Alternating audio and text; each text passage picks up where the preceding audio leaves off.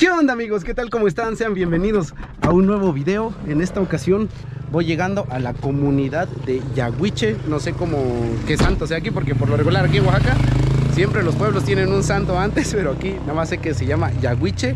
Es un pueblo que está pasando a Tzompa. Fíjense que antes mi hermano vivió mucho tiempo por Atzompa y él venía diciendo que cómo se ha desarrollado esta zona como en unos 10 años más o menos. Bien rápido, la plaza igual que está en Plaza Villa ha crecido mucho porque yo me acuerdo cuando venía hace como 10 años que tenía una, novia por acá.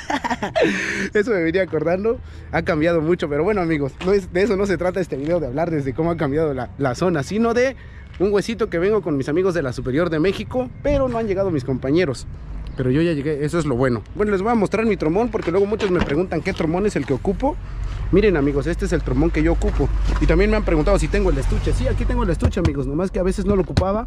Ahorita nada más lo traigo porque la neta se ve más mamón llegar con el estuche, ¿no? Pero como pesa, es más práctico traer la, la funda.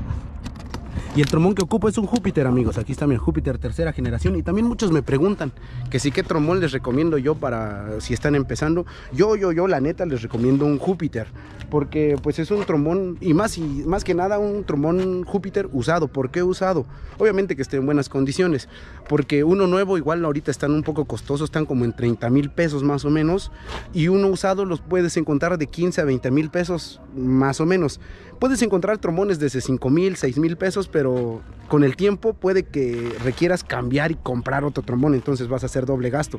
Por eso es que a, a que compren un trombón muy económico, nuevo, mejor espérense tantito, ahorren un poco más y quizá por el doble de ese precio puedan encontrar un Júpiter que esté en buenas condiciones y ese les va a servir como para aprender, hasta incluso como para seguir tocando. Otra cuestión con las boquillas también, amigos.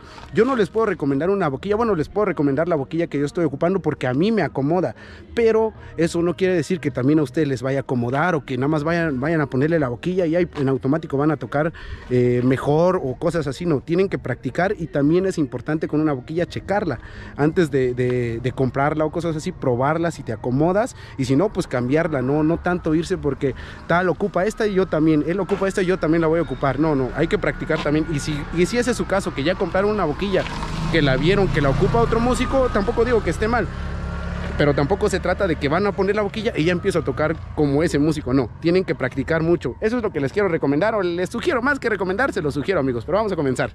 Ya me moví del lugar, ya mejor me acomodé aquí donde están mis compas. Hoy sí vamos a... ¡Ay, chale! Una lavadita. Aquí tengo mi tromón, miren amigos. Mi desodorante, chale, todo mi desmadre traigo aquí. Aquí está mi tromón. Y ni he ido por mí esta cosa, ya van como 5 o 6 videos o más que ni he ido. Y todo por flojera, ¿eh? No porque no tenga tiempo, por pura flojera, no, no he ido por eso. Miren, cómo sale la saliva, chale. voy a limpiar un poquillo. Pero ya vamos a empezar, ya casi son las 5 de la tarde. ¿Dónde vamos a tocar, Molo? ¿Acá enfrente? Ah, ah, aquí es donde vamos a tocar, miren. Ah, entonces de ahí voy a poder ver mi coche, eso está bien.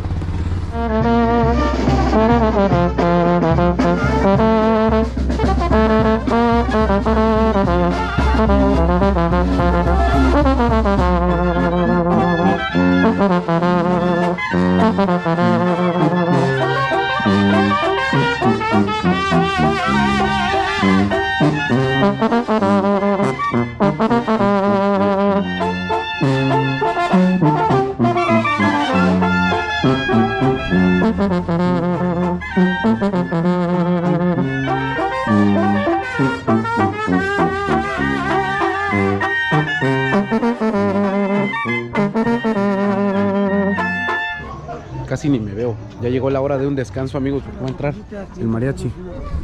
Van a entrar en un rato los mariachis. Nosotros vamos a descansar. Va entrando el mariachi.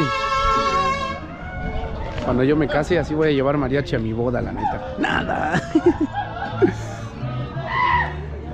Pero es así, desquiten su hora completa, ¿eh? Nada de que nada más un ratito y ya le seguimos nosotros. y nada de que descansaron una hora, ¿eh? Y, terminan más tarde, ¿eh? Nada. Denle, denle en lo que nosotros vamos a pasar a cenar. Ya nos dijeron que pasemos a cenar. Esa voz me agradó. Casi no me veo, amigos, porque casi no se ve. Aquí están los compas, los compitas. Aquí casi no se ve, amigos, la neta. Casi no hay mucha luz. Nada más, lo único que tenemos de luz es este arbolito, miren. Aquí no hay mucha luz. Pero aquí están los compas. Martín. Ya nos trajeron aquí las carnitas. Hay que pasar para allá para ¿no? Sí. Hay que pasar por, por guacamole y todo. Hay que ir para allá, ¿no? Molo, hay que ir para allá, ¿verdad? Por guacamole y todo. Hay que ir para allá. Pero mira, aquí lo muestro lo que vamos a cenar.